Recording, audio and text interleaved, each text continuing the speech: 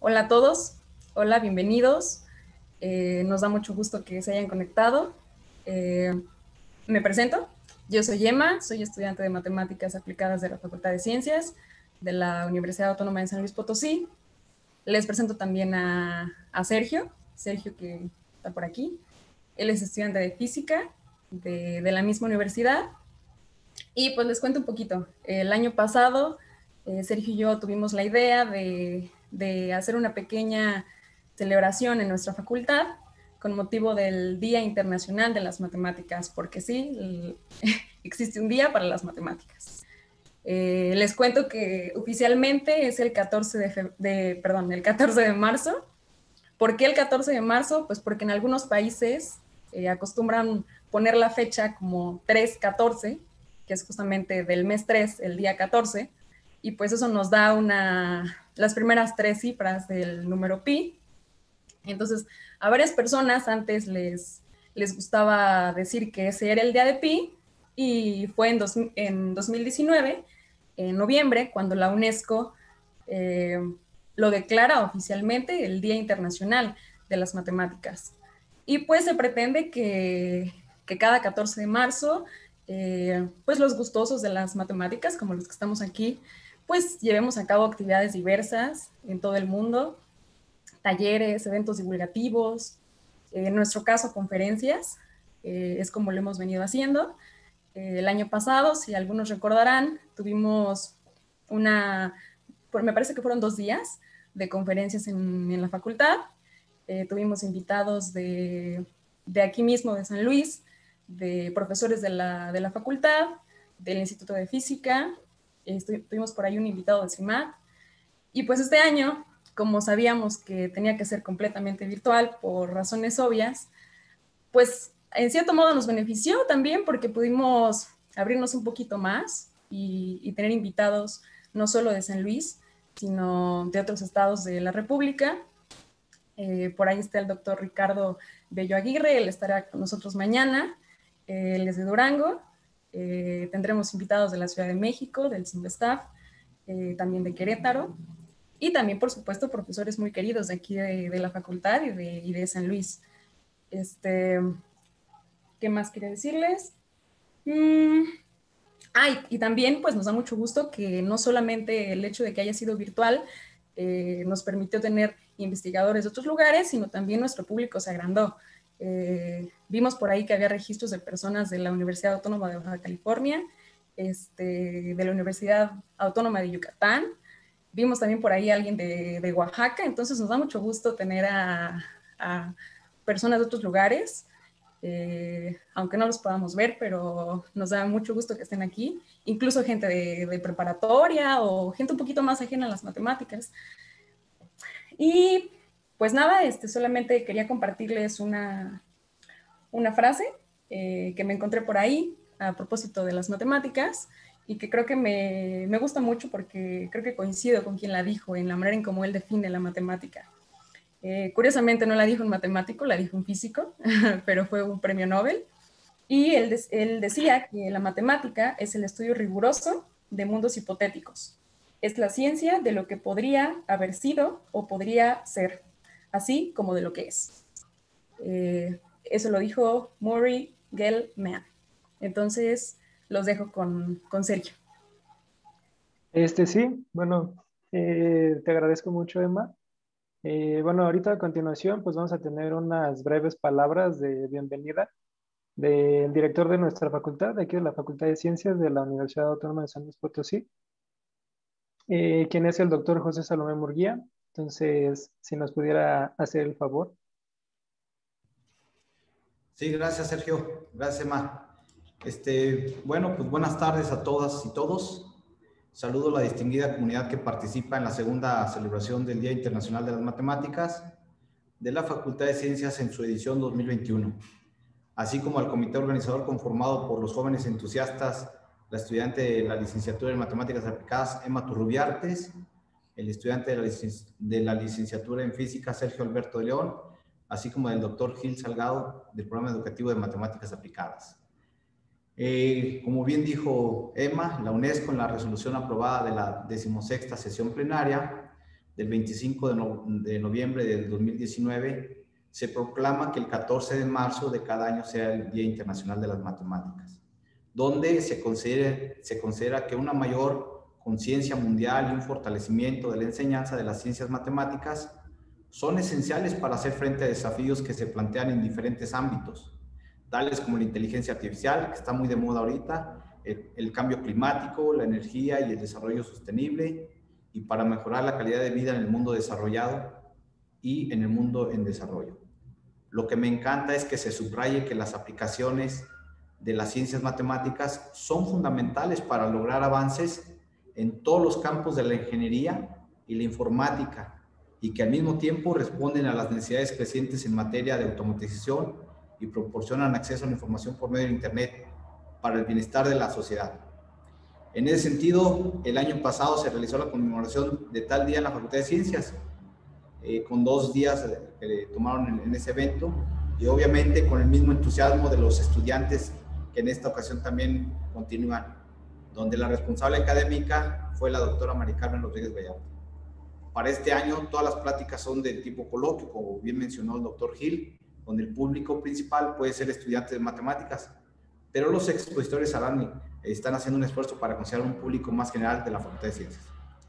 Este evento es relativamente muy joven y en este año se sigue en, su versión virtual. En esta edición se cuenta con, con seis pláticas y un concurso donde el día de hoy, pues el doctor Gil Salgado va a dar una plática eh, denominada prácticamente matrices gráficas, algas, álgebras de Lie y geometría.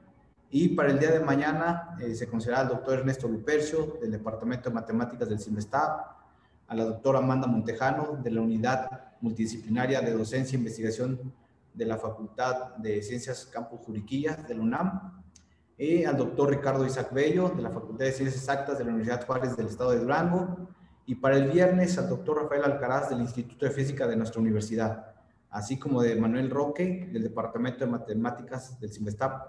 Y él fue, eh, bueno, es exalumno de la licenciatura de Matemáticas Aplicadas de esta facultad. Es importante resaltar que la realización de este evento es el resultado de la suma de esfuerzos por parte de los integrantes del comité organizador y derivado de lo anterior se puede ver una gran participación de varios este, participantes de varios lugares. ¿no? Cabe mencionar que para nosotros es importante este tipo de iniciativas, ya que permite abrir espacios para la discusión y reflexión sobre temas de interés de esta comunidad y que habitual o eventualmente muchos de nosotros nos vemos inmersos. Deseamos que sea de beneficio y sobre todo de agrado de todas y todos los presentes, que cada uno de ustedes puede sacarle algo de provecho y esperemos que esta actividad continúe realizándose de manera recurrente. Quiero nuevamente agradecer a todo el personal que con un gran esfuerzo, responsabilidad y gusto llevan a cabo este evento académico, así como a toda la comunidad que nos acompaña en este evento. Eh, solo quiero agregar, ya casi para finalizar, este, que muchos en nuestro campo de, de la ingeniería menciona que hay muchas cosas que siempre se les rechaza simplemente por la falta del rigor matemático. Y entonces, porque siempre dicen, si, eso estuviera aprobado, como está tan fácil, la matemática es la que le da el formalismo y muchas cosas salen adelante, ¿no? Entonces, sin mayor preámbulo y si me lo permiten, damos por inaugurado la segunda celebración del Día Internacional de las Matemáticas en su edición 2021 de la Facultad de Ciencias, esperando que sea de su agrado. Descubrir lo creado es crear la ciencia. Doctor José Salomón Muribarra, director de la Facultad de Ciencias, y mucho éxito en, este, en esta celebración. Gracias. Bueno, pues muchas gracias este, por, por estas palabras de, de introducción. Este, y bueno, pues ahora sí, ¿no? Eh, vamos a ya comenzar con las matemáticas, a lo que venimos. Este, el día de hoy, pues me da mucho gusto presentarles a, a esta primera charla que está a cargo del doctor eh, Gil Salgado. Él es, bueno, profesor investigador de aquí de la Facultad de Ciencias. Este, él, bueno, estudió la licenciatura en matemáticas en la Facultad de Ciencias de la UNAM, donde también obtuvo el grado de maestro en ciencias, eh, recibiendo la medalla Gabino Barreda. Y bueno, posteriormente ingresó al programa doctoral del CIMAD y obtiene el grado de doctor en ciencias bajo la supervisión del doctor Adolfo Sánchez Valenzuela. Eh, originalmente sus temas de interés eran las superálgebras y supergrupos de Lie, su teoría de representaciones y teoremas de estructura. Eh, recientemente su trabajo se centra más en entender la estrecha relación que existe entre las estructuras de contacto y de Frobenius en álgebras de Lie. Entonces, pues ya sin más preámbulo, este, le cedemos la palabra. Y les recordamos también que si tienen alguna pregunta, este, alguna duda que les surja a lo largo de la charla, la pueden poner en el chat y un servidor se la va a interrumpir al, al doctor y le hacemos la pregunta. Adelante. Primero, eh, muchas gracias a Emma y a Sergio por la invitación y por la confianza de, de participar con ellos en la organización.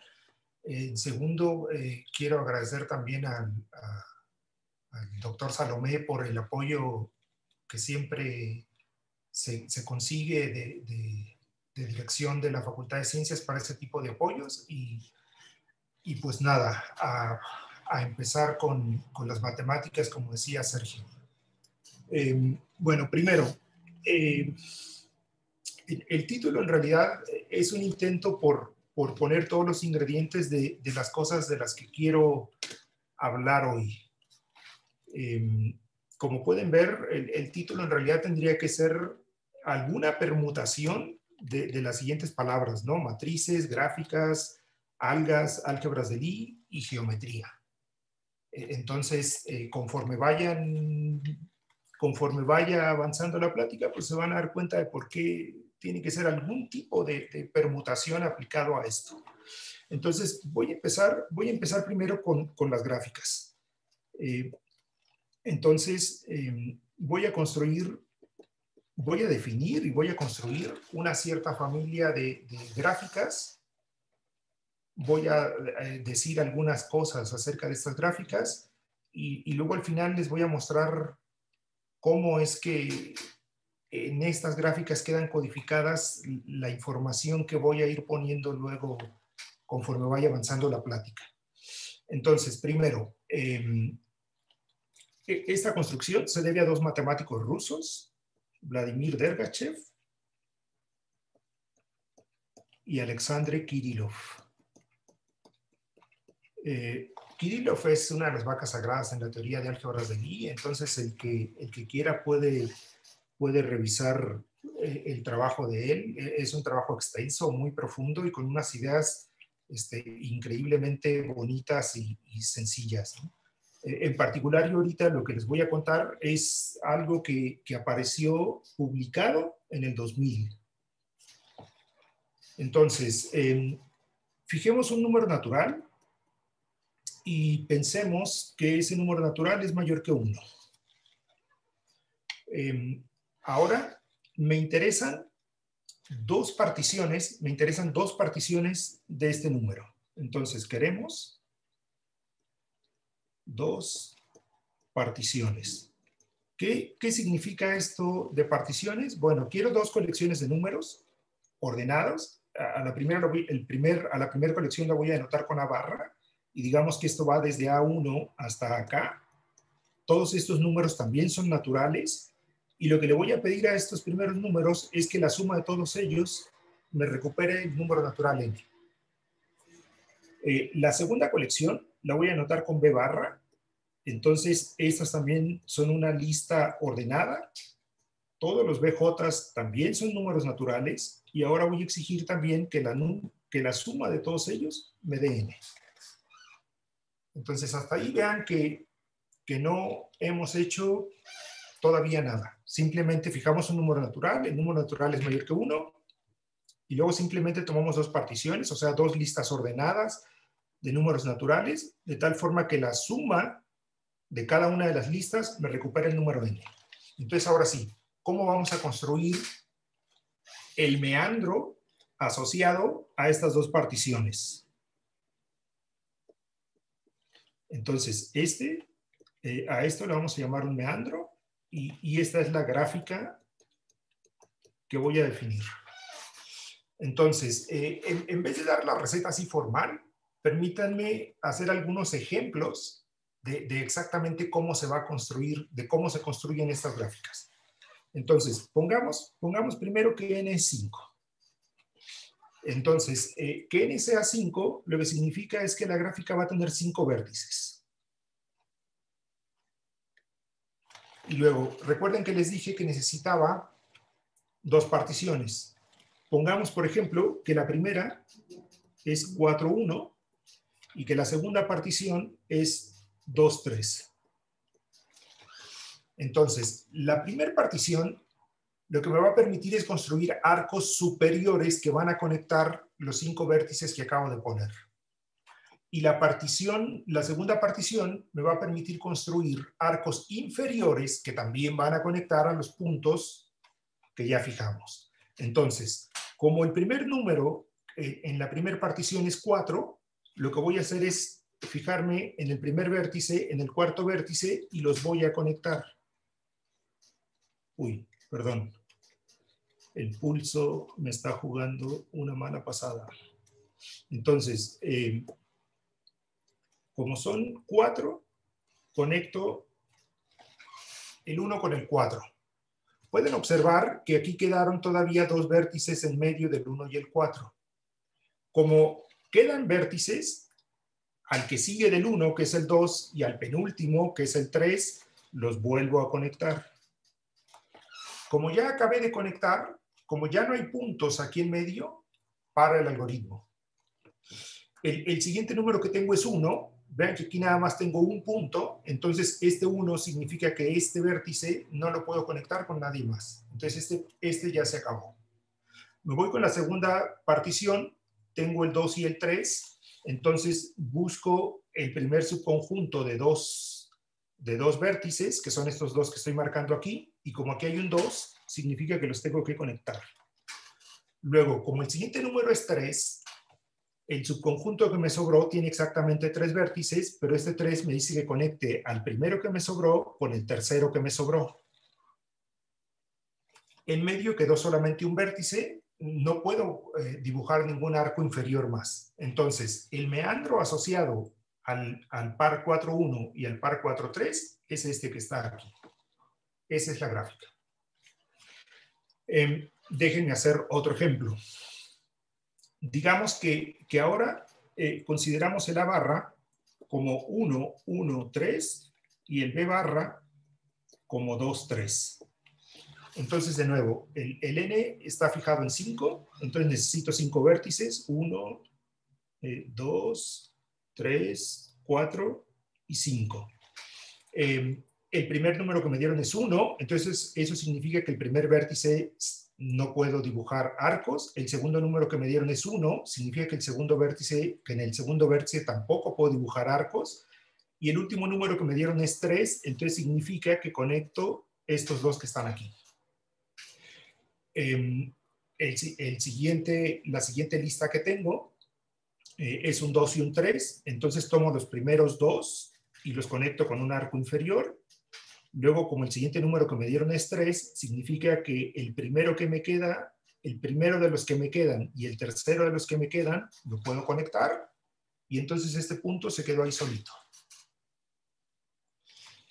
Em, puse un número pequeño de vértices y, puse aquí, em, elegí, elegí estos valores pues para que no quedaran cosas muy complicadas. Entonces, una primera pregunta que uno se puede hacer es, ¿qué tan complicada puede ser la gráfica de un meandro? Primera pregunta, ¿qué tan compleja, qué tan compleja puede ser la gráfica?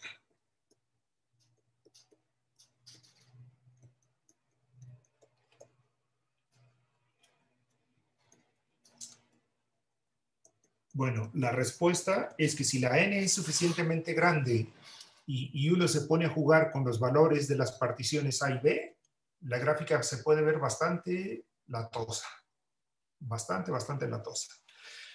Sin embargo, sin embargo, para los que ya hayan llevado algún curso de topología, pues se pueden dar cuenta que, estas gráficas pues tienen ciertos pedazos, ¿no? Por ejemplo, en, esta primera gráfica que hice, en esta primera gráfica, es, es, fácil observar, es fácil observar que que solamente, que solamente hay un pedazo. En esta gráfica nos podemos convencer fácilmente, si yo sigo el camino que estoy marcando aquí, que hay una componente nada más, hay, hay un pedazo, o sea, la gráfica es solamente una trayectoria. En el siguiente ejemplo, en el siguiente ejemplo, pueden darse cuenta que aquí hay un pedazo, este completo es un pedazo y este otro es un pedazo de la gráfica. Entonces, en el primer ejemplo hay solamente una componente y en el segundo ejemplo, evidentemente, hay tres componentes. De hecho, uno puede observar que en las gráficas eh, es esta que estoy marcando aquí, esta componente que estoy marcando aquí y esta que parece una carita feliz que estoy marcando con el cursor, son esencialmente iguales. De hecho, esta carita feliz y este punto para nosotros también son esencialmente iguales. Las dos que son esencialmente distintas son esta que estoy marcando aquí, que es como una circunferencia, y esta carita feliz. Entonces vamos a hacer una distinción. Cada vez, cada vez que tengamos un meandro, dado un meandro, eh, vamos a contar el número de ciclos que hay y el número, déjenme llamarle así, de componentes conexas. Evidentemente aquí cuando digo componentes conexas es que no son ciclos. Entonces, en el primer ejemplo, en el primer ejemplo, que es, que es eh, este dibujo que está aquí, no hay ciclos y hay solamente una componente conexa. En el segundo dibujo, en el segundo dibujo hay dos componentes conexas que son como la carita feliz y el punto que está aislado y hay un ciclo que es exactamente este que está aquí. Em, déjenme hacer otro ejemplo digamos que n es 5 otra vez, y que alguien dice, oye, mira, yo quiero la partición A igual a 5 y B igual a 5. Entonces, el meandro aquí tendría que ser 1, 2, 3, 4, 5. Como me dieron el número 5, significa que tengo que conectar el primer vértice con el vértice 5. Entonces, trazo este arco. Tengo tres eh, puntos interiores, digamos, entonces tomo el segundo y el cuarto y los uno, y entonces evidentemente este punto ya se quedó solito. Luego, como el B también es 5, necesito conectar este punto con el quinto, el segundo con el cuarto, y este se quedó solito. Entonces, en este ejemplo, el número de ciclos es igual a 2 y el número de componentes conexas es igual a 1. la componente conexa es solamente este y los ciclos, los ciclos eh, son este que estoy marcando en verde y este que estoy marcando en verde. Entonces, la pregunta es, ¿qué diablos pueden medir?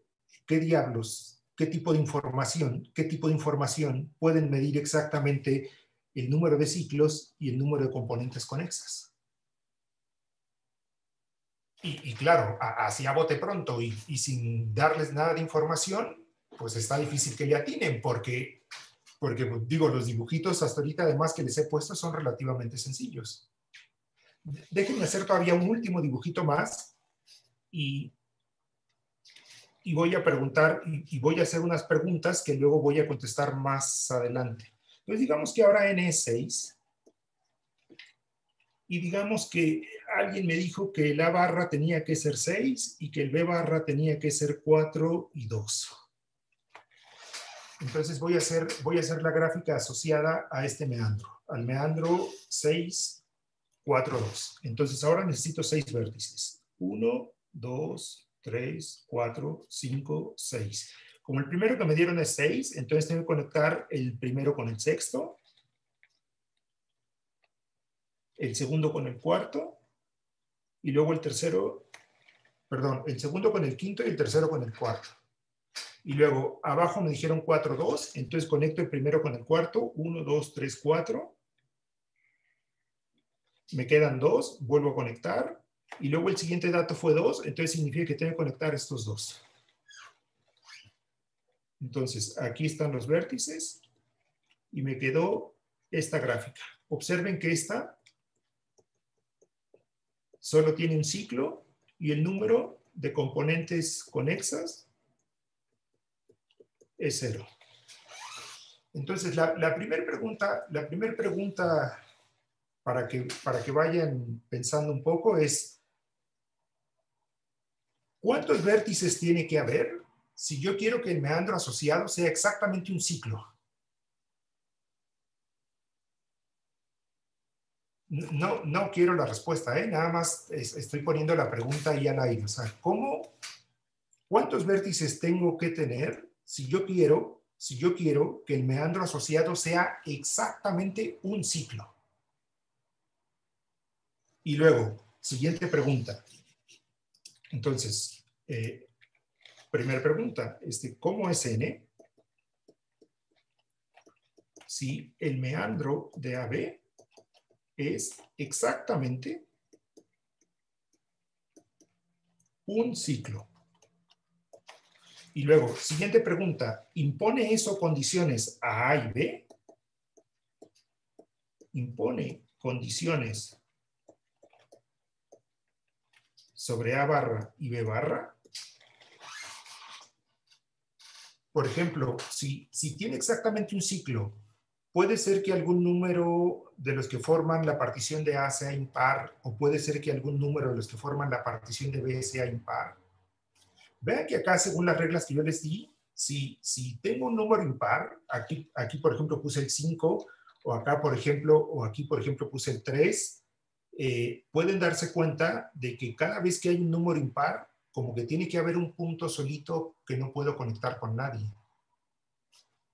Acá eh, cuando puse 5, en ambos, pues evidentemente el punto solito fue el mismo. Entonces, como que uno se imagina rápidamente que si, que si uno necesita que sea forzosamente un ciclo, entonces todos los números que aparecen en A barra y todos los números que aparecen en B barra tienen que ser pares. Y entonces inmediatamente uno se da cuenta de que si todos los números que aparecen en A barra son números pares, entonces la n de la que estamos hablando tiene que ser un número par no puede ser un número impar. Eh, por cierto, yo no sé contar, ¿eh? entonces puede ser que de repente diga algo que no sea cierto y, tienen que tener cuidado con eso. O sea, si, digo algo mal, pues nada, simplemente pidan la palabra y digan, oye, la regaste, ¿no? No va por ahí. Entonces, eh, eso. Ok, entonces, em, bueno, em, Dergachev y Kirillov prueban que Kirillov prueban que, que a todas estas gráficas, que a todas estas gráficas se les pueden asociar permutaciones. Este, se le asocia este, una permutación. Hay, hay, varias formas de hacer esto. La manera, la manera de asociar la permutación no es única. Pero lo que sí es único, lo que sí es único y, que es un teorema de... Profesor, hay una, disculpe, hay una pregunta. Dime. Este, Santiago Lujambio pregunta, ¿podría repetir rápidamente la regla para construir el meandro de ave? Ah, ¿cómo Ah, sí. Ok, me regreso a los ejemplos. Eh, la regla es la siguiente. Me tienen que dar dos particiones es decir, dos formas de descomponer el n como suma de números naturales. Y la regla es la siguiente. Tomo el primer número y me fijo en los primeros A1 vértices posibles.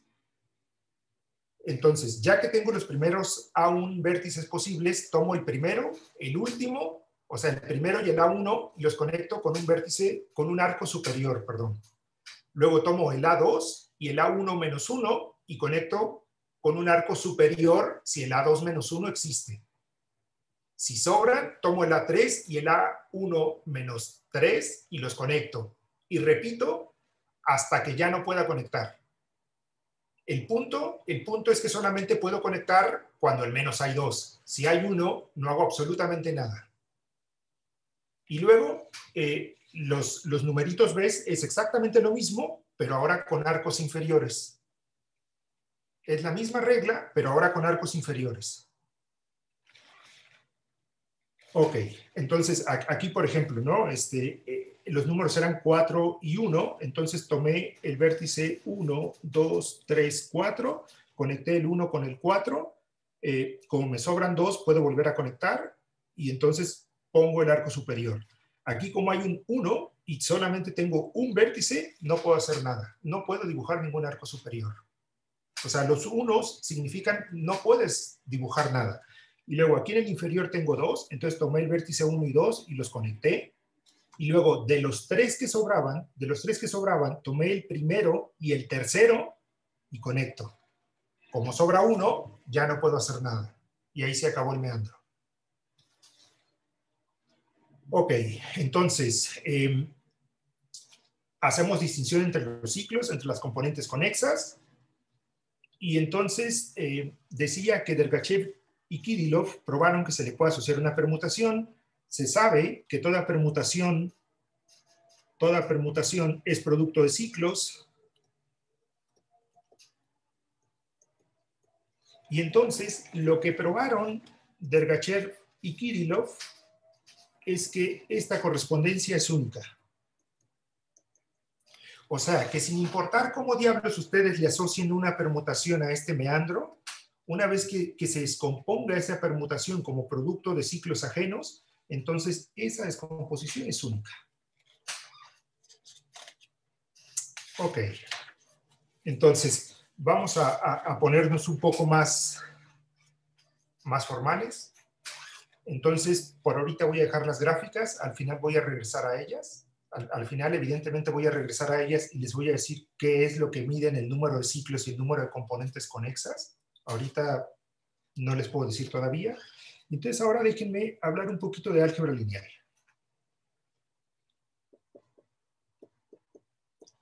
Álgebra lineal.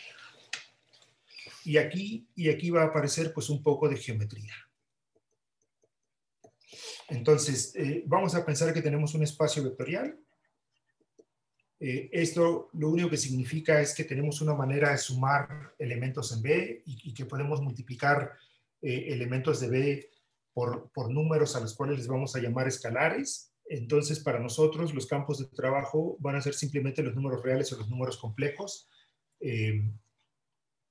no me interesa, aunque seguramente se podría escribir todo lo que voy a decir de manera análoga si, el campo fuera un campo finito, pero, pero de entrada no me interesa.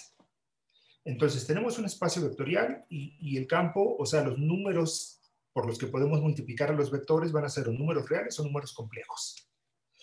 Entonces, eh, aquí existen objetos que se llaman formas bilineales.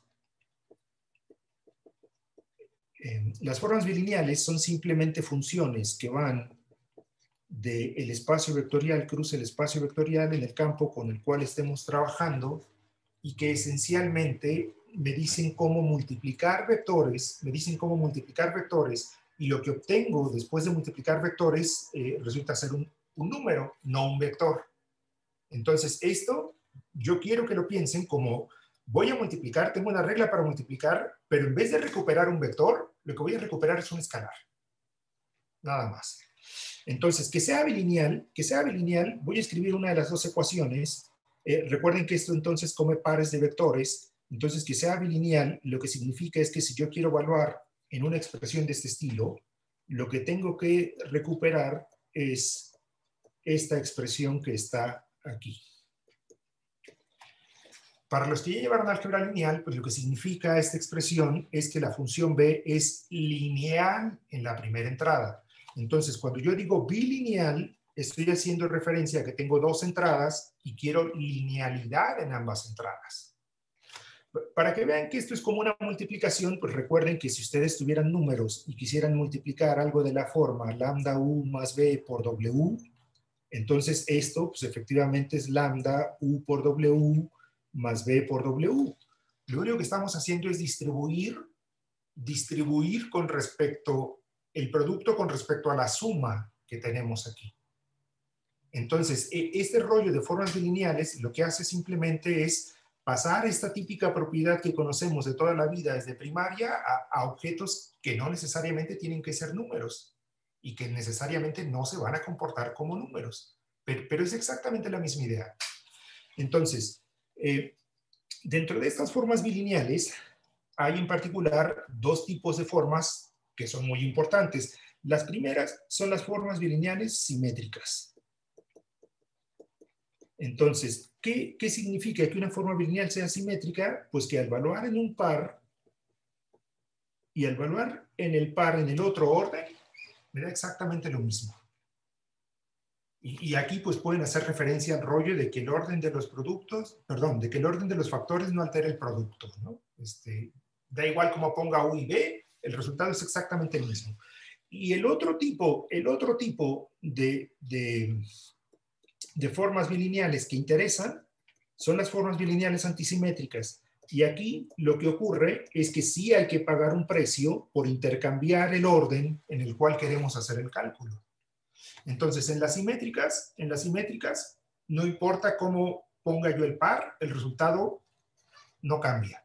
En las antisimétricas, si se me ocurre cambiar el orden, aparece un signo menos. Tengo que pagar un precio por eso. Ahora, ya que tengo estos dos objetos, entonces hay un concepto asociado a ambos que mide eh, qué tan bonito es el producto con el cual estamos trabajando. El concepto que mide qué tan bonito es el producto se llama el radical asociado a la forma bilineal y la definición es la siguiente. Son todos los vectores en B tal es que cuando calculamos b de u con b, lo que obtengo es cero para todos los vectores en el espacio vectorial. Vean que, que con números uno no está acostumbrado a que esto ocurra. Si, si, si yo tengo que un producto me da cero en la vida real, entonces alguno de los dos factores tuvo que haber sido cero. Pero, pero estos les digo que son como productos. Entonces aquí pueden pasar cosas más complejas como que existan esos elementos que sin ser cero, al multiplicarlos por cualquier cosa, me den cero. Entonces, el radical lo que va a medir es eso. Lo que va a medir es qué tantos elementos existen en el espacio vectorial que cumplen exactamente con esta propiedad que está aquí. Y entonces, inmediatamente que uno define el radical, aparece otra definición, y entonces uno dice que una forma bilineal es no degenerada si el radical consta única y exclusivamente del vector cero, que es, que es a lo que uno está acostumbrado. Cero por lo que sea es cero. Y si el único elemento tal que al multiplicar me da cero es el cero, entonces decimos que la forma de multiplicar es una forma no degenerada. Ok, Ahora, ¿cuál es la parte bonita? ¿Cuál es la parte bonita de que haya empezado con un espacio vectorial y, de que tenga los números reales o los números complejos? Pues la forma, la forma bonita o la condición bonita es que si fijamos una base, si fijamos una base en el espacio vectorial,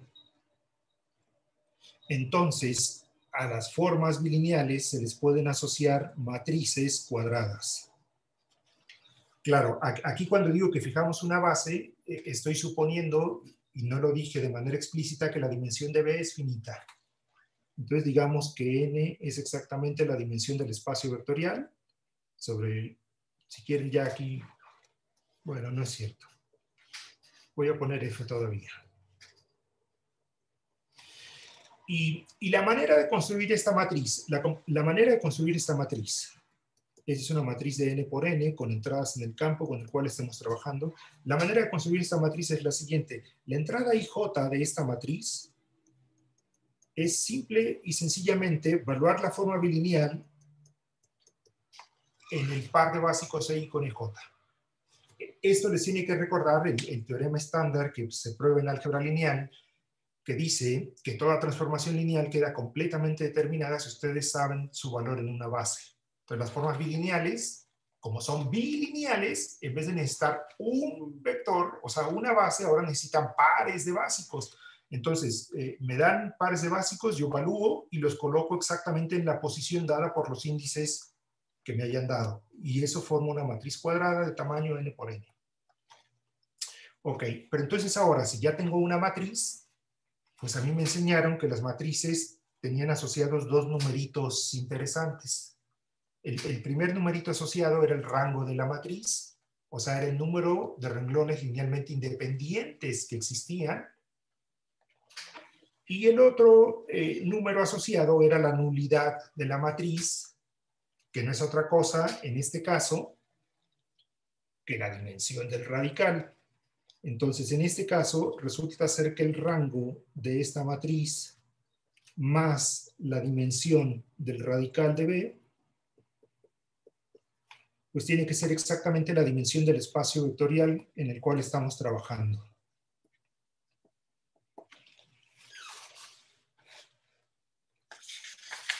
Ok, entonces, ¿por qué, ¿por qué dije que esto tenía que ver con geometría? Bueno, si, resulta ser que la B es simétrica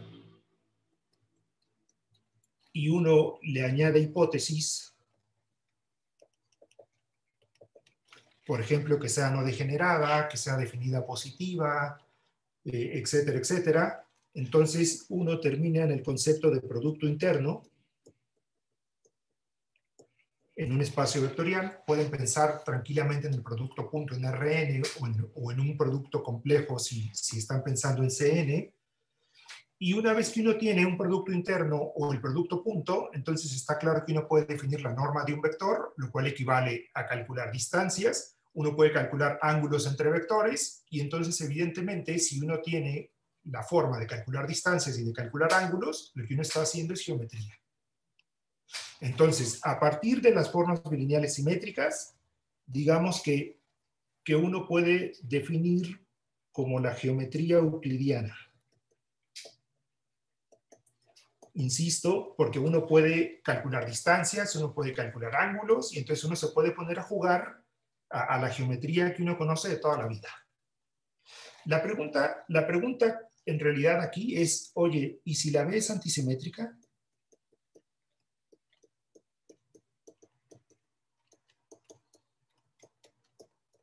¿Qué pasa? Si la ves antisimétrica, ¿qué ondas?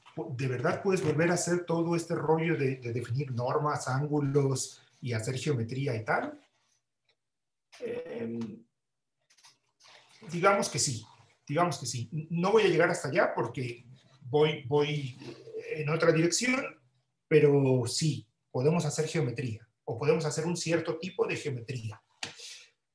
Entonces, para, intentar poner esto un poco más, más en detalle, déjenme enunciar sin demostración el siguiente lema, y, que es crucial para la discusión que quiero hacer a continuación. Si ves antisimétrica, si ves antisimétrica, entonces la dimensión del radical de B siempre es par. La dimensión del radical de una forma lineal antisimétrica siempre es un número par. Siempre, siempre, siempre. Acá, en, las simétricas, eso no es cierto. En las simétricas, ustedes pueden dar ejemplos fácilmente de formas bilineales simétricas con dimensión de radical 0, con dimensión de radical 1, con dimensión de radical 3, con dimensión de radical 4, con lo que ustedes se les pegue la gana y, es muy fácil construir eh, ejemplos de formas bilineales simétricas con dimensión del radical, lo que quieran. Pero si la forma bilineal es antisimétrica, nada. Este, se van a meter en, en un universo muy particular. Y el universo muy particular es que la dimensión es par. Y entonces recuerden que yo acabo de poner que la dimensión del espacio vectorial se calculaba como el rango de la matriz asociada a la forma bilineal más la dimensión del radical de la forma bilineal. Entonces, si este número que está aquí resulta ser que siempre es par, entonces todos deberían darse cuenta que la paridad de la dimensión de B es exactamente la misma Ah, perdón, perdón, perdón, perdón, perdón. A ver, aquí puse mal esto, ¿eh? Perdón. Aquí es el rango. Aquí es el rango. Perdón, va de nuevo, va de nuevo. Perdón, perdón por el lapsus. Como vi la R mayúscula, me fui por RAD en vez de rank. Perdón, el lema lo que dice es que si B es antisimétrica, que si B es antisimétrica, entonces el rango de B siempre es, dimensión, siempre es de dimensión par. Y, lo que intentaba decir acá, lo que intentaba decir acá es que para las simétricas, ustedes pueden dar ejemplos de formas bilineales simétricas con dimensión del rango, lo que quieran. Por ejemplo, en R3 el producto punto es una forma bilineal simétrica de rango 3. En R5 el producto punto es una forma bilineal simétrica de rango 5. En R4 pues, será de rango 4, etcétera, etcétera. Perdón por el lapsus. El rango el rango de la forma bilineal antisimétrica es lo que tiene que ser un número par. Entonces ahora sí lo digo de manera correcta. Si este número, si este número siempre tiene que ser par, si este número siempre tiene que ser par, entonces la paridad de este número y la paridad de este otro número son iguales.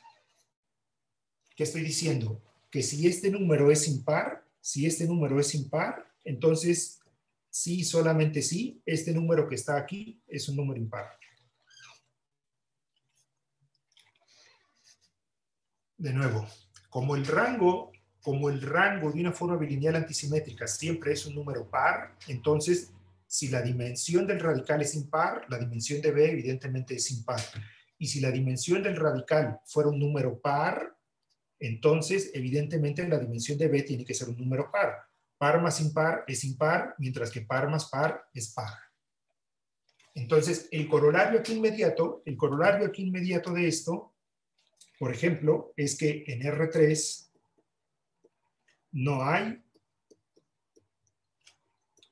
formas bilineales antisimétricas no degeneradas. O en otras palabras, o en otras palabras, todas las formas bilineales antisimétricas en R3 degeneran. En R3 no hay forma, no hay forma de tener una forma bilineal antisimétrica que sea no degenerada.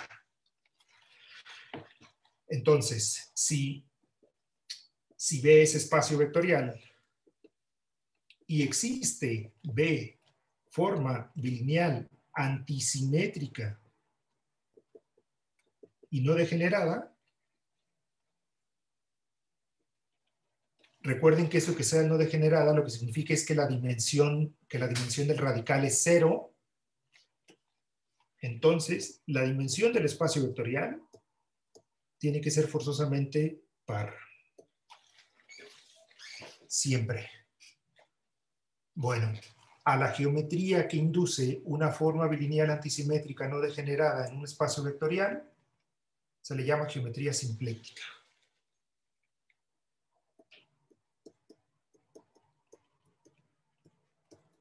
Iba a revisar por qué o de dónde apareció el nombrecito este de simpléctica, pero la verdad es que se me pasó y, ya no ya no revisé, digo, seguramente cualquiera de ustedes se puede conectar y revisar de dónde diablos aparece este nombre simpléctico, ¿no? Que suena bastante extraño de entrada.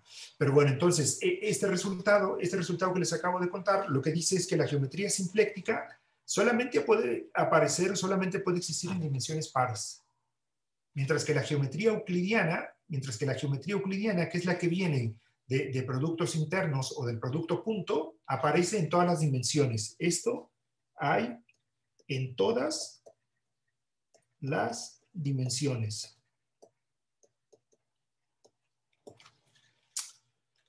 Ok, entonces, déjenme hacer una construcción más y, una vez que, haga esta construcción y que les muestre algunas cuentitas, el siguiente ingrediente ya son las álgebras de Lie.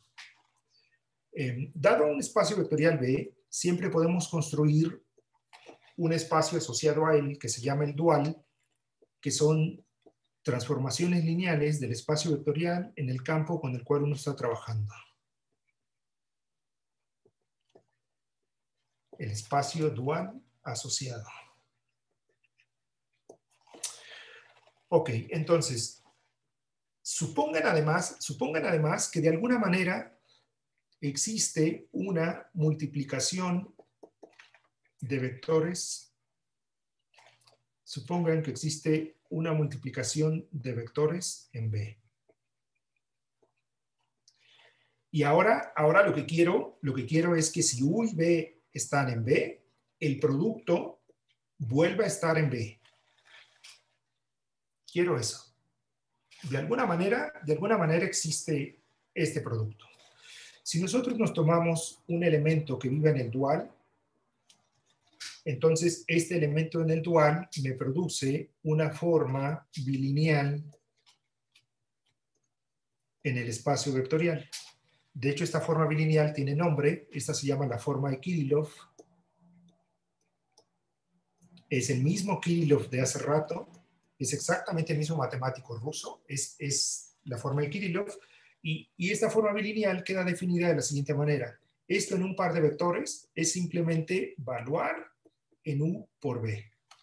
Entonces, recuerden que yo pedí que existiera una multiplicación, V, aquí está, V, y, luego la phi lo que hace es que toma un vector, este es un vector, y lo que me regresa es un escalar. Entonces, esta es una forma bilineal. Evidentemente, B phi es simétrica. Si U por B es igual a B por U. Y B phi es antisimétrica. Si U por B, pues es igual a menos B por U. Para que vean que sí conocen ejemplos de este tipo de cosas, este, déjenme ponerles el típico ejemplito que es R3 en R3 existe el producto vectorial, que lo voy a denotar con una cruz. Entonces, dados U y B en R3, nosotros podemos construir un vector que se denota así, que se llama el producto vectorial, y, ese es, y este vuelve a ser un vector en R3. Esta es una multiplicación y cumple que si ustedes hacen U plus B y cambian de posición los vectores, tienen que pagar un precio. Entonces, en particular, si ustedes se tomaran un elemento en el dual de R3, entonces tienen una forma bilineal asociada definida por phi en U cruz B, y esta forma bilineal que está aquí es antisimétrica.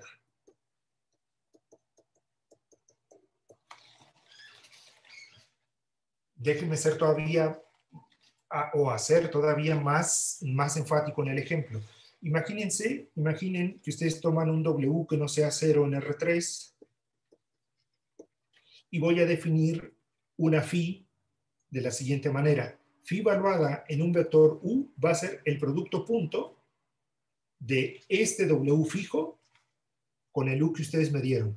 Evidentemente, esto está en R y entonces esta phi resulta ser una transformación lineal que va de R3 en R. Entonces, yo me puedo fijar, yo me puedo fijar en la forma de Kirillov asociada y esta forma, al evaluarlo en un B y W, perdón, en un U y en un B, y esto, al evaluarla en un U y en un B, tendrá que ser phi de U cruz B, y esto es W punto U cruz B. Si recuerdan, esta, esto en particular, eh, ese triple producto, ese triple producto tiene una interpretación geométrica bien bonita. Este triple producto que está aquí, lo que mide es el área del paralelogramo, bueno, el área con signo del paralelogramo formado exactamente por los vectores V y W. Ahora, ojo con que este W que está aquí está fijo. ¿eh? Entonces, em, como creo que todos conocen el producto cruz, Entonces fijemos la base canónica de R3 y digamos que el vector W era L1. Entonces me interesa calcular la matriz asociada a esta forma bilineal antisimétrica con respecto a la base canónica. Si recuerdan, les dije que la matriz asociada se construía de evaluar en pares de básicos. Entonces, eso significa que yo aquí tendría que calcular cuánto es phi en E1 cruce 1. Esa es la primera entrada, la entrada 1, 1. Luego phi en E1 cruz E2. Luego phi en E1 cruz E3. Y tengo que terminar de rellenar esta matriz que está aquí. Pero ahora, eh, si recuerdan, eh, fijé el vector W como E1 y por las propiedades del producto cruz y el producto punto, pueden darse cuenta que este primer renglón siempre va a ser cero. Porque el E1 es uno de estos vectores, de hecho es este vector y también es este vector. Entonces, el producto cruz, recuerden que siempre es ortogonal a cualquiera de los dos vectores con respecto a los cuales los esté calculando. Entonces, usando eso, y que esto tiene que ser antisimétrico, yo ya sé que el primer renglón tiene que estar dado por ceros. Luego, si quiero calcular esta posición de aquí, aquí lo que tengo que calcular es phi de E2 cruce 2, pero también el E2 con el E2 me da 0, entonces aquí tiene que ser 0. Aquí tiene que estar el E3 con el E3, entonces aquí me tiene que dar 0. Aquí tengo que multiplicar el E2 por el E3. El E2 por el E3 me da el E1 y al hacer producto punto con el E1 obtengo un 1 y como es antisimétrica, esta es la matriz asociada pueden todos fácilmente observar que el rango es 2. Y entonces el radical pues tendrá que tener dimensión 1.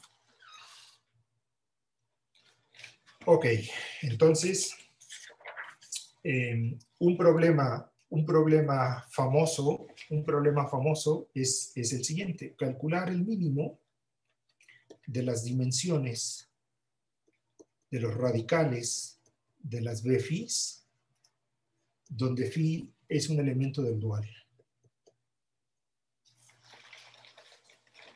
E, este numerito, este numerito eh, da, da, información, da información sobre los tipos posibles de geometrías que se pueden definir en B. Y el otro problema, y el otro problema es encontrar explícitamente, encontrar explícitamente phis que alcanzan el mínimo.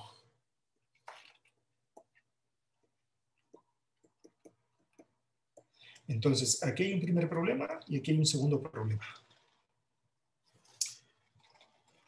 Ok, entonces, dejo aquí el álgebra lineal y me salto a las álgebras de Lie. Ya casi me regreso a las gráficas. ¿eh? O sea, una vez que tenga todos los ingredientes, entonces ya puedo regresarme a las gráficas y, decirles exactamente qué ocurrió y qué no ocurrió. Entonces, una álgebra de Lie es un espacio vectorial junto con un producto en él. Entonces, el producto se suele anotar así, con paréntesis cuadrados. El álgebra de Lie este, se suele anotar con ese tipo de letra germánica, minúscula. Y lo que se le pide al producto es que cumpla dos propiedades. La primera propiedad es que si yo calculo U por B, la primera propiedad es que si yo calculo U por B, eh, me tiene que quedar menos el producto de B por U. Y la segunda propiedad lo que tiene que cumplir es que si yo hago esta suma que se ve muy extraña al inicio,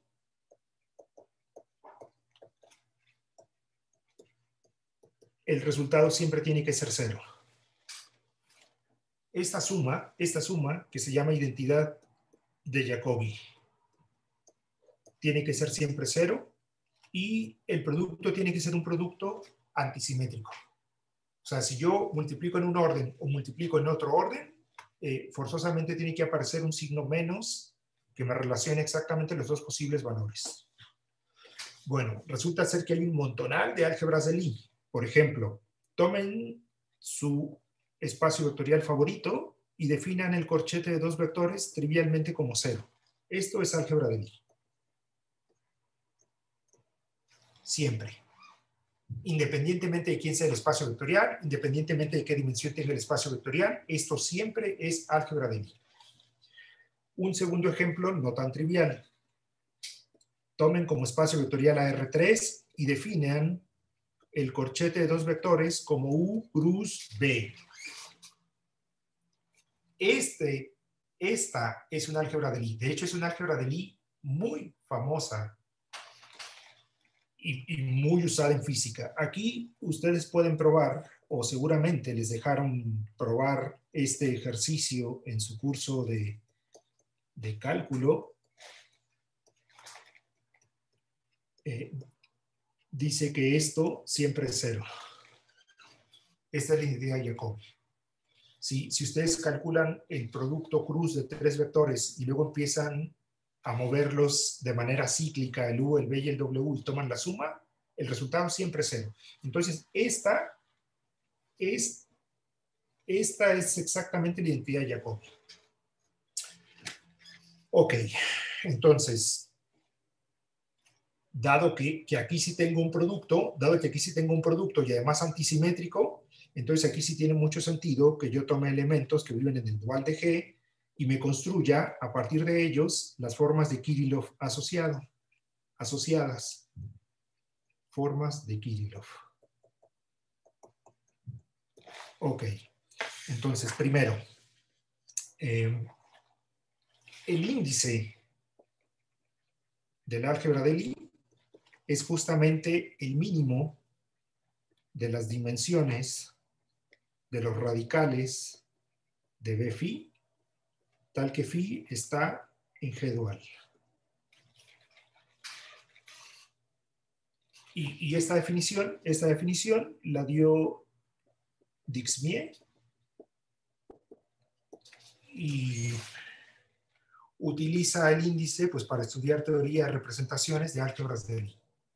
Y, y tiene sentido porque eh, un, una visión con un poco más de detalle de lo que les acabo de contar, en realidad lo que hace es relacionar las dimensiones de las órbitas coadjuntas de las álgebras de Lie en términos justamente de, de esos numeritos que están aquí y, y justamente el, el que pegó el rollo de entender la teoría de representaciones a partir de las representaciones coadjuntas perdón, a, a, partir de las órbitas coadjuntas del álgebra de Lie, pues es, es este personaje que está aquí, que es Kirillov. Ok. Phi en G dual se llama un elemento regular. Un elemento regular. Si la dimensión del radical de Phi es justamente el índice del álgebra de Lie. Eh, probó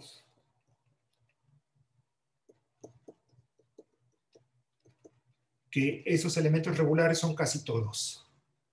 O sea, los elementos regulares son un abierto denso en G dual. Y aquí hay que aclarar que se está pensando en la topología de Zariski. Eh, sin embargo, aunque el teorema es muy bonito, aunque el teorema es muy bonito, es, es, es el típico ejemplo de, de, cuando uno le pregunta a alguien por algún número, ¿no?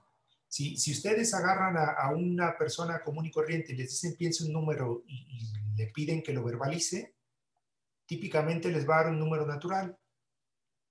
Pero los que ya llevaron una clase de cálculo saben que los números naturales, al igual que los números racionales, no son nada dentro del conjunto de los números reales. O sea, la probabilidad de que ustedes a ciegas agarren un número, lo saquen y sea irracional es uno. Sin embargo, si le piden a la gente que les dé un número, seguro les va a dar un número natural y apostamos si quieren, o sea, salgan ahorita y pregúntenle al primero que vean, no, este, a ver, dime un número, ¿no? O piensen un número. Entonces, aquí es lo mismo, o sea, son casi todos, lo, los elementos regulares son casi todos, pero son difíciles de encontrar. Entonces, el problema, el, problema que yo les decía acá arriba de, de que es el inciso B es justamente el problema de encontrar explícitamente un elemento regular. Y hay, métodos para hacer eso. Hay un método que se llama el de la cascada de Costan y, y es un poco latoso el método para construirse exactamente ese, ese elemento regular. Y de hecho, es folclore que te construye un elemento regular. O sea, todo el mundo se lo cree, en la mayoría de los ejemplos funciona, pero no hay una demostración, no hay una demostración formal. Y no hay una demostración formal, pues porque este rollo es bastante latoso. Entonces, problema ya escrito en este lenguaje. Calcular el índice de G para un álgebra de Lie G. Segundo problema, encontrar elementos regulares.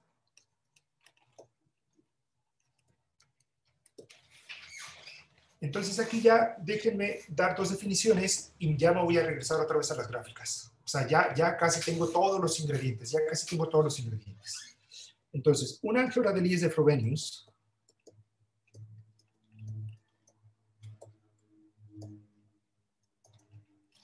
si existe un elemento phi en G dual, tal que B phi es no degenerada.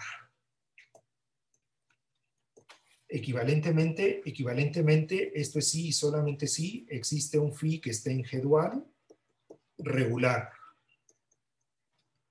Y evidentemente el índice de G es cero.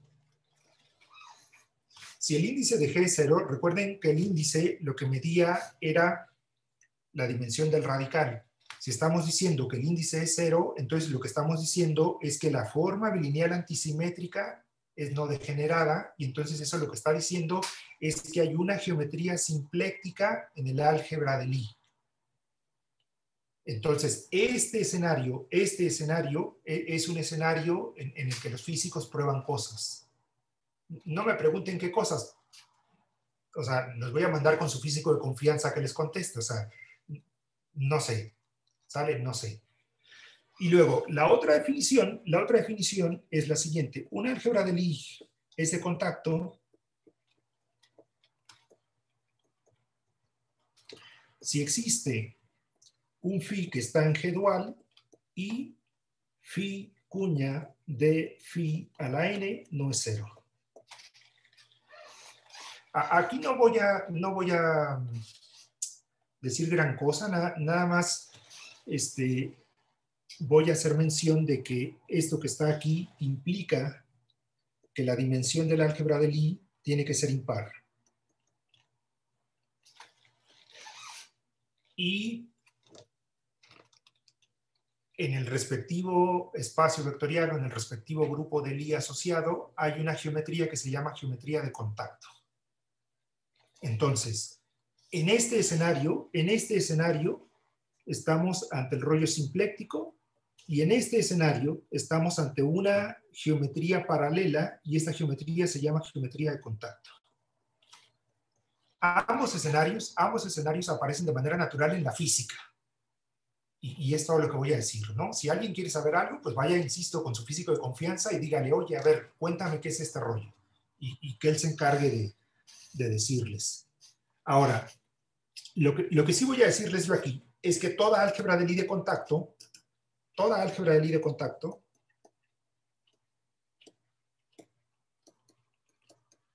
satisface que el índice del álgebra de Lie es 1. Y no vale el regreso. O sea, hay álgebras de Lie que tienen índice 1 que no son de contacto. Entonces, no es un sí, solo sí. Acá arriba sí, índice cero y, ser de Frobenius es exactamente lo mismo. Sale. Entonces, ya está. Ahora sí. Me voy a regresar a las matrices. Me voy a regresar a las matrices y a las gráficas. Recuerden, recuerden que yo les había pedido un número natural que fuera mayor que 1 y les había pedido dos particiones a1, ta, hasta el acá, y luego B barra, que era B1, hasta BL. Entonces ahora voy a hacer lo siguiente. Voy a pensar en una matrizota de n por n. ¿Sale? Entonces voy a intentar dibujarla aquí siguiendo los puntos que tengo. Espero que me quede cuadrado esto. Bueno, si no, si no me queda cuadrado, pues echen la imaginación. Se supone que es una matriz cuadrada y son los elementos de la diagonal. ¿Sale? Entonces ahora voy a hacer lo siguiente. Aquí yo tengo los números A1 hasta acá y la suma de todos ellos me da N. Entonces voy a fijarme en los siguientes escalones. Con el A1 me voy a fijar aquí y voy a dibujar este. Entonces este mide A1 y este también mide A1. Luego con el A2 me voy a fijar y voy a dibujar aquí otro escaloncito. Ahora este escalón es A2 y este también es A2. Y sigo hasta llegar al último escalón, que es el que es AK, AK. Y entonces aquí voy a permitir que haya elementos que no son cero. Todo lo que quedó por fuera, todo lo que quedó por fuera de los escalones son ceros. Y ahora con la B, con la B voy a hacer exactamente lo mismo. Con el B1 me voy a construir aquí un primer escaloncito. Voy a suponer que es este. Este escaloncito es de B1, este es de B1. Luego me construyo el escaloncito B2, B2. Y así sigo hasta llegar al BL, BL. Y aquí otra vez este, dejo vivos todos esos elementos y todos los que estén fuera, todos los que estén fuera, les pongo cero. Todo lo que quede fuera de, los, de, de esto que yo dibujé son ceros. O sea, aquí hay ceros y aquí hay ceros. Bueno, primer punto. Si yo sumo dos matrices de esta forma, me vuelve a dar una matriz con exactamente esta forma. Segundo punto, y, que lo pueden ver poniendo algunos ejemplitos o probándolo directamente, si yo multiplico dos matrices de esta forma, me vuelve a quedar una matriz exactamente de esta forma. E, eso ya no es tan obvio, pero se puede probar que eso es cierto. Entonces, de hecho, estas matrices que están aquí, déjenme al, al espacio generado con estas matrices que tienen esta forma, déjenme denotarlas así. Estas matrices estas matrices, el conjunto de esas matrices en realidad forman un álgebra de Lie. El término técnico es biparabólica y, algunos a estos les llaman álgebras de tipo algas. Si recuerdan el título, si recuerdan el título, ahí por en algún lado decía algas, ¿no? Este, ok. A estas álgebras de Libby parabólicas también se les llama álgebras algas. Entonces ya apareció el nombre. Entonces, un problema clásico, un problema clásico es calcular los índices de las álgebras de Libby parabólicas contenidas en las álgebras de Lie simples. Entonces, el problema clásico el problema clásico es calcular el índice de G a barra B barra. Y entonces aquí viene ya la relación con lo que dije antes. Nosotros teníamos dados A y B, A barra y B barra, dados A barra y B barra, nosotros asociábamos un meandro y este meandro tenía un número de ciclos y tenía un número de componentes conexas. Si recuerdan, ¿no? Ok, teorema, evidentemente de Dergachev y Kirillov.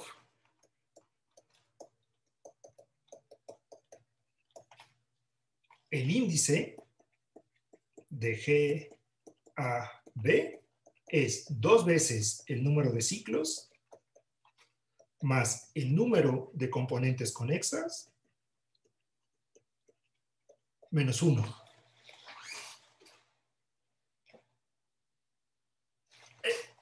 Yo cuando vi esto, o sea, me quedé así de, de, de, a seis, porque yo cada vez que veía las grafiquitas y que me decían que las iban a orientar y colorear y no sé qué más y tal, pues, decía, bueno, este, pues está bien, ¿no? Este, el, típico chiste de, la gente que no entiende las cosas, ¿no? Pues sí, palitas y bolitos y coloritos, ¿no? Este, pero no, o sea, resulta ser, resulta ser que esos objetos están detrás de ideas increíblemente fuertes. O sea, el rollo, el rollo de poder calcular ese numerito que está aquí eh, en términos netamente combinatorios, o sea, en términos de, de, algo, o sea, de una gráfica asociada y de las componentes conexas de, de, de la gráfica, o sea, es, es impresionante. O sea, dice que, bueno, primero, que, que aquí hay una idea genial de esos dos tipos, ¿no? ¿A, quién se le ocurre asociarle a un álgebra de Lie una gráfica? O sea, típicamente uno asocia la gráfica de incidencia y, hace calculitos con la gráfica de incidencia de, del objeto y ya está. Pero, pero esto, o sea, esto es, o sea, es muchísimo, o sea, esto es impresionante. O sea, esto es impresionante porque esto, esto está dando información geométrica muy profunda. O sea, e, ese es el rollo, está dando información geométrica muy profunda y se puede leer, y se puede leer de simplemente contar cuántos ciclos hay, cuántas componentes conexas hay, sumarlas y restarles uno. O sea, más bello, más simple y, más profundo no se puede. De verdad, o sea, e, e, esto está impresionante, ¿no? Está impresionante. Entonces, bueno, yo cuando vi esto, pues me aluciné, me puse a leerlo, lo leía, lo leía, lo leía y, quería saber qué diablos había pasado, porque, porque de verdad, o sea, de, un problema de geometría fuerte pasas a un problema de, dibujar puntitos, arcos, contar y ya acabaste. Parcialmente, ¿no? Entonces, bueno, eh, yo, eh, como, como decía Sergio, pues me he dedicado los últimos años a intentar entender el rollo de, de las álgebras de Lie de contacto, de las álgebras de Lie de Frobenius, como les dije hace rato, toda álgebra Lie de contacto tiene índice 1, entonces yo empecé diciendo, bueno, ok, ya veré, 1 tiene que ser dos veces el número de ciclos más el número de componentes conexas menos 1.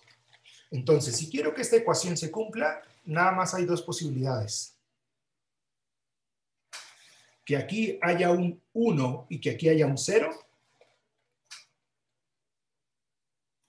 2 menos 1 es 1, o que aquí haya un 0 y que aquí haya un 2.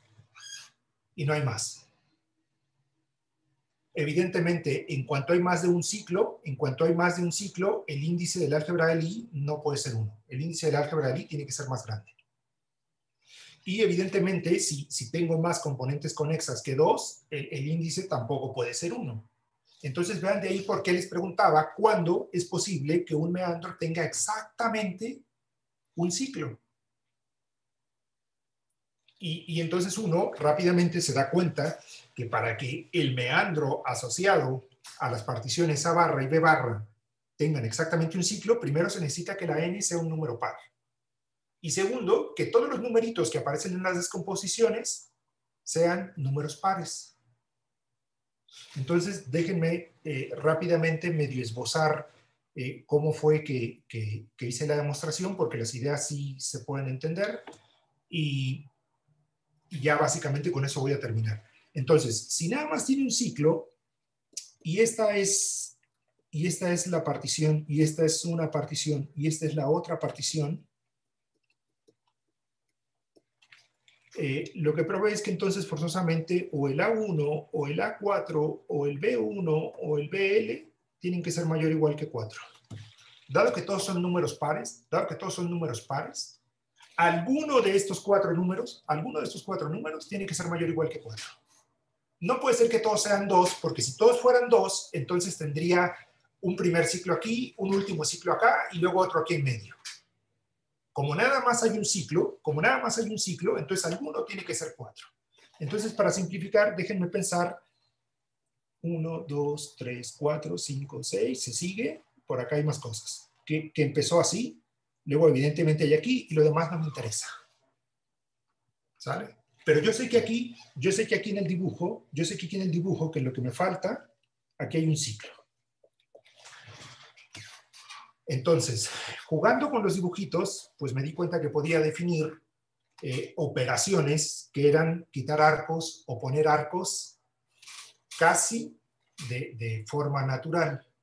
Aquí en particular, la operación que implementé fue el quitar este arco de longitud 4.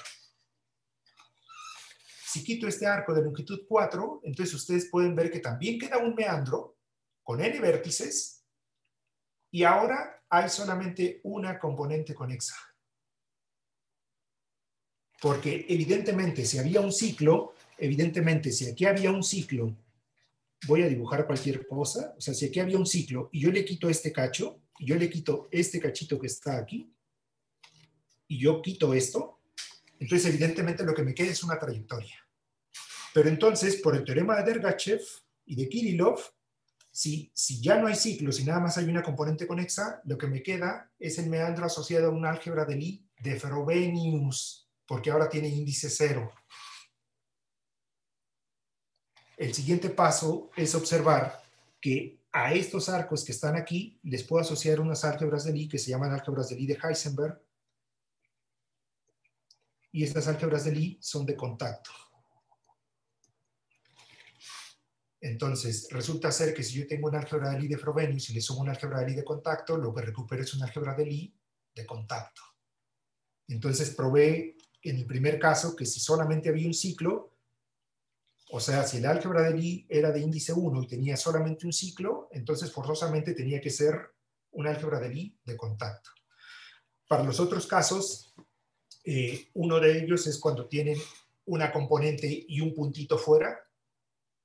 Y eso lo reduje a un caso que, estudié con Emanuel, que va a hablar el viernes, y con Trino, y, probamos y dimos condiciones de cuando a partir de un álgebra de Lie de Frobenius le podías añadir una derivación y le construías una de contacto. Entonces, eh, eh, estaba, estaba ya ahí sobre la mesa todo, ¿no? O sea, estaban todos los ingredientes, entonces pues simplemente empezar a analizar lo que ocurría y, ¡pum! Este, salió algo.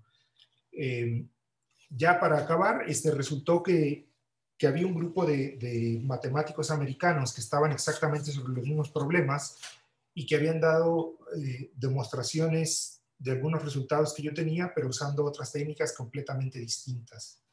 Entonces, al final, se contactaron conmigo, nos pusimos de acuerdo, escribimos algo y ahorita ese trabajo está en revisión. Entonces, pues muchísimas gracias, espero que no se hayan aburrido. Este, nada, muchas gracias. Eh, sí, estuvo bastante claro, muy bonito todo lo que nos contó. Eh, hay algunas preguntas en el chat, eh, profesor. Este, bueno, la primera alguien pregunta, ¿por qué el nombre de algas? Pues creo que esa es la traducción literal de esta palabra, ¿no?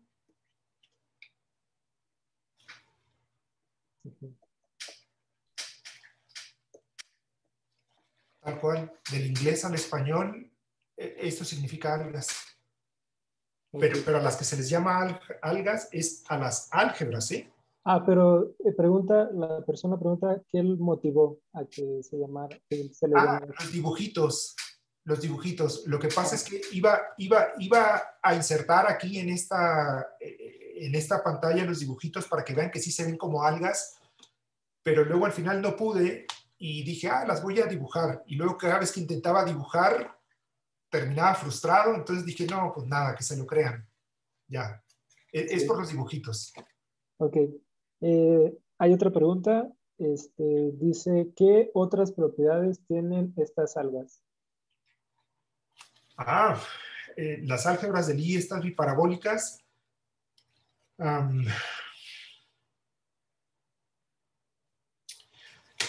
Creo que cualquier cosa que diga va a ser demasiada técnica. O sea, tienen, tienen que ver, eh, estas álgebras aparecen cuando quieres estudiar teoría de representaciones simplifican, simplifican la teoría de representaciones para cierto tipo de álgebras. Muy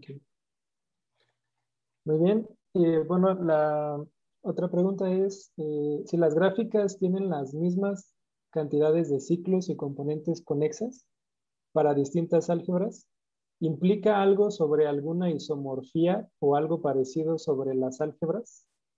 Eh, no. lo, no, no, necesariamente. Lo que sí es cierto, lo que sí es cierto es que si, si, si ustedes empiezan con esta álgebra y luego se construyen esta álgebra, estas, para estas sí hay un isomorfismo. O sea, el intercambiar arcos superiores con arcos inferiores sí produce el mismo tipo de álgebras de Lie. Pero si no, este, no, no, no necesariamente, no necesariamente. Ok.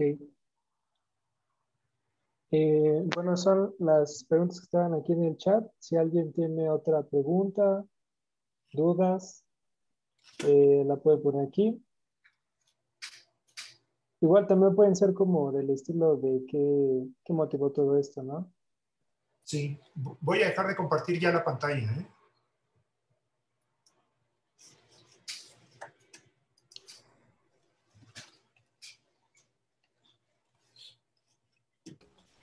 Sí, pues recuerden que le pueden preguntar, no sé, este, algo sobre su carrera, los, nuestros compañeros de primeros semestres, si tienen alguna duda todavía, si todavía están ah, indecisos sobre ser matemáticos. ¿Hay, otra palabra? ¿Por qué se llaman biparabólicas? Sí, déjame, déjame entonces vuelvo a compartir la pantalla para, para decirles. Ok. Em, cuando, cuando uno está trabajando con álgebras de Lie de matrices, em, las álgebras de Lie parabólicas son las que tienen, si esta es la diagonal, si esta es la diagonal, son, son álgebras que tienen ese tipo de estructura. O sea, aquí pueden poner lo que quieran y acá hay ceros. E, estas álgebras, estas álgebras son las que se llaman parabólicas. ¿Y por qué se llaman biparabólicas? Pues porque se obtienen de la intersección de una álgebra parabólica, digamos, eh, escalonada superior y de una álgebra parabólica escalonada inferior. Si ustedes intersectan, si, intersectan este tipo de matrices con este tipo de matrices, quedan exactamente las que dije. Y, y, por eso se llaman biparabólicas, porque son parabólicas, digamos, superiores y parabólicas inferiores.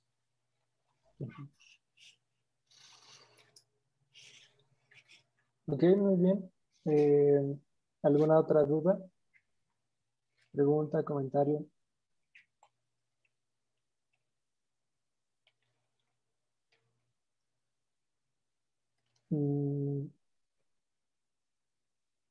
Pues, o sea, todo estuvo muy claro, la verdad.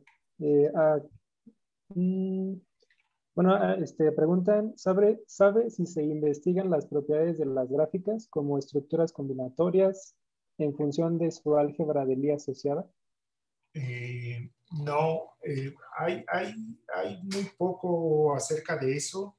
Hace tiempo con, con Mari Carmen intentamos asociarles gráficas a las álgebras de Lie cuadráticas, o sea, las álgebras de Lie que admiten métricas invariantes, pero se quedó en el tintero ahí lo que empezamos a hacer y nunca, nunca hemos terminado de empujar esas ideas de, qué tipo de propiedades tienen las gráficas asociadas a cierta clase de álgebras de Lie. O sea, el, punto es que no a todas las álgebras de Lie se les pueden asociar gráficas, ¿no?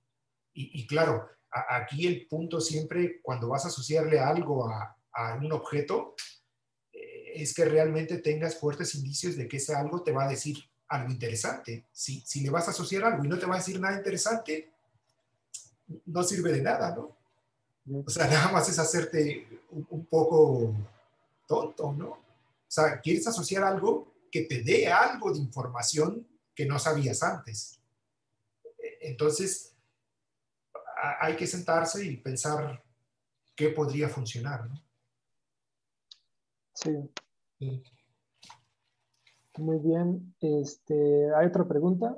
Eh, bueno, en la parte combinatoria, ¿se ha utilizado para clasificar las álgebras de Lie? Eh, sí, sí. De hecho, de hecho, la clasificación de las álgebras de Lie simples se basa justamente en un análisis combinatorio de, las posibles, de los posibles diagramas de Dinkin que pueden existir.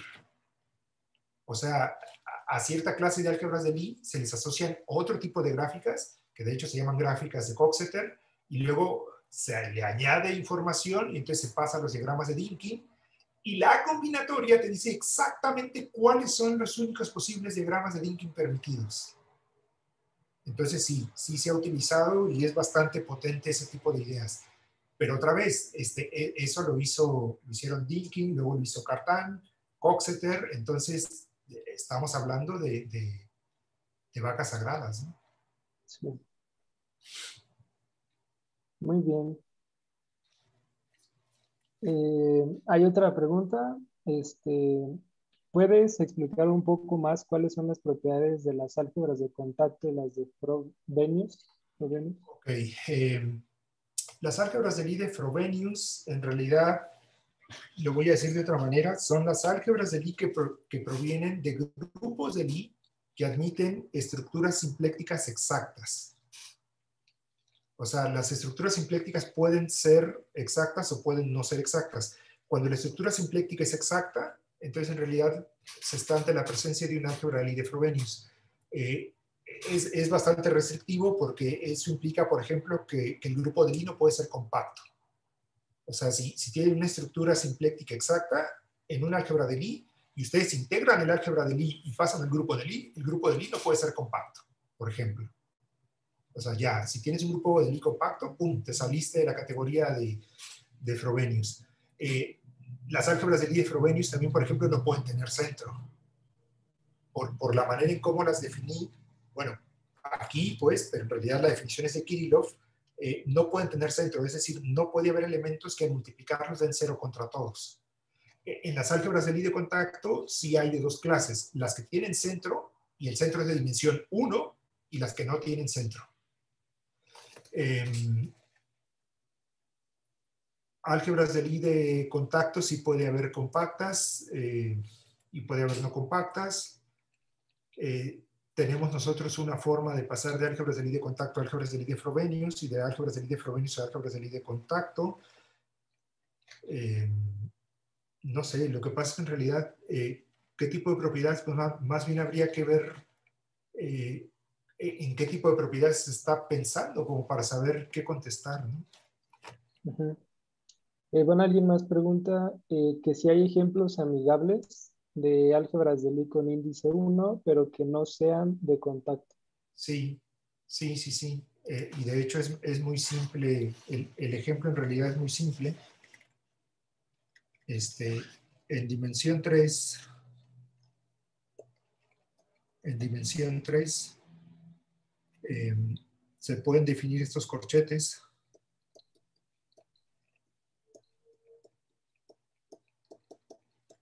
se puede probar que, hay una álgebra de Lie que es exactamente la generada por E1, E2 y E3. Esta álgebra de Lie tiene índice 1 y no es de contacto.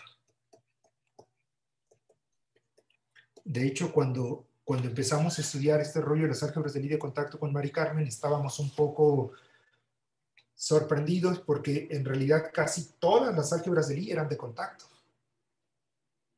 O sea, lo, raro más bien era empezar a encontrar ejemplos que no fueran de contacto, como, como para empezar a, a, entender qué es la diferencia. Este, bueno, e, ese ejemplo que les puse ahí, que, que, era E1 por E2 igual a E2 y E1 por E3 igual a E3, es una álgebra de dimensión 3, o sea, estoy definiendo el corchete en los básicos. Esa tiene índice 1 y no es de contacto. Ok. Eh, bueno, alguien pregunta, ¿cómo se le da una topología a un álgebra de Lie? Más o menos. Bueno, no, a, los espacios vectoriales eh, uno no...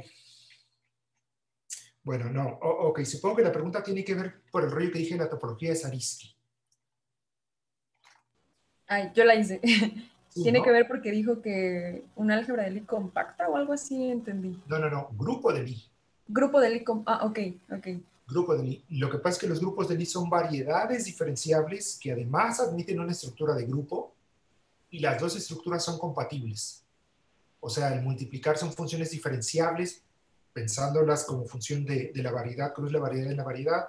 Tomar inverso también es una función diferenciable y, y las dos estructuras coexisten sin ningún problema. Entonces, la topología en realidad viene dada de pensar que ya es una variedad diferenciable. Okay. Entonces es un grupo y una variedad al mismo tiempo. Es un grupo y una variedad al mismo tiempo, exacto. Entonces cuando dices que es una variedad, ya lleva una topología predefinida por la estructura de variedad. Ok, ok, gracias. Eh, alguien nos pregunta, ¿podemos clasificar de alguna manera las álgebras de Lie a partir del grupo de homotopía de su gráfica? Eh, no, no. así como está hecha la pregunta, no. No, se podrán dar quizás algunas respuestas parciales, pero clasificar, no. No, definitivamente no. Muy bien. Eh, pues, si alguien tiene alguna última pregunta, quizás tenemos tiempo para una. Qué bueno que han estado preguntando. Eh, bueno, yo, yo creo que esta es la última. Este, alguien pregunta, ¿qué motiva la identidad de Jacobi? ¿Y por qué aparece en tantos lados? Em, e, esa es una muy buena pregunta. Este, en realidad la identidad de Jacobi es una condición de integrabilidad.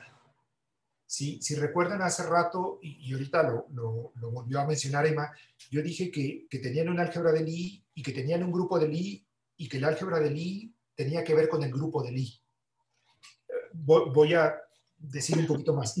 El grupo de Lie es una variedad. Por ser grupo tiene un punto distinguido. Ese punto distinguido es el neutro del grupo. Y entonces en el neutro del grupo uno puede calcular el espacio tangente. El espacio tangente en el neutro del, del grupo es el que tiene estructura de álgebra de Lie. Entonces, hay una manera natural de pasar de la estructura de grupo al espacio tangente. La pregunta es, ¿me puedo regresar? O sea, si yo tengo un vector tangente, yo, yo puedo saber quién es el elemento del grupo del cual viene. A ese problema de intentar asociarle a un elemento en el espacio tangente un elemento en el grupo se le llama un problema de integrar. ¿Puedo integrar o no puedo integrar? O sea, ¿me puedo regresar a la variedad? Respuesta, te puedes regresar gracias a la identidad de Jacobi. ¿Y por qué aparece por todos lados? Pues porque es una condición de integrabilidad. Es exactamente lo que le permitió a Lie probar sus teoremas de Lie que dicen cómo se relacionan los grupos con las álgebras. O sea, del grupo de álgebra derivas, punto. Ya está, derivar como derivamos siempre. Pero, y del espacio vectorial a la variedad, integrando. ¿Y cómo integras? ¿O por qué integras? Pues gracias a la identidad de Jacobi. Es una condición de integrabilidad. Perfecto. Muy bien. Eh,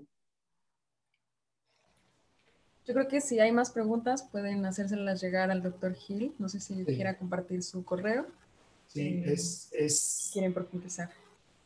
Eh, mi correo es muy simple, es gsalgado arroba fciencias.uaslp.mx.